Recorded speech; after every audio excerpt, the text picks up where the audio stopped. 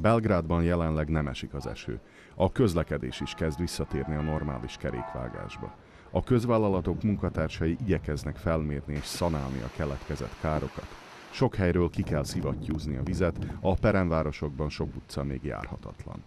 A Köztársasági Hidrometeorológia Intézet figyelmeztetése szerint most a Száván várható ugye a rekordmagas vízállás, Sabácon is az okoz problémát.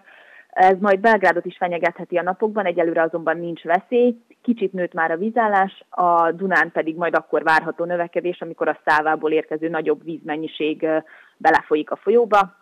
Belgrád felkészül a száva felől, várhatóan holnap Sabac irányából érkező árhullám elleni védelemre.